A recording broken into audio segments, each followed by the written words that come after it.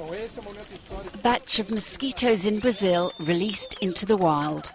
Normally, people would shy away rather than crowd round, but these are special mosquitoes.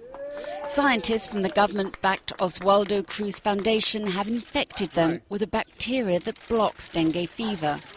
Eu diria assim que em curto prazo de cerca Say that in the short term, in about two years, we'll see a reduction in Brazil, yes, in the number of dengue cases in some places, and then in something like five or even ten years, we'll study an expansion of this project in Brazil with much more concrete data. So we have to do a study as if it were a clinical study that's much broader to really show a reduction in the number of cases of dengue in a satisfactory manner.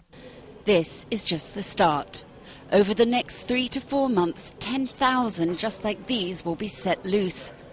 The hope is they will multiply, breed, and become the predominant mosquito, gradually wiping out the insect's ability to spread the virus. The bacteria that's being introduced, Wolbachia, is harmless to humans. The initiative's part of a program that's taking place in Australia, Vietnam, and Indonesia.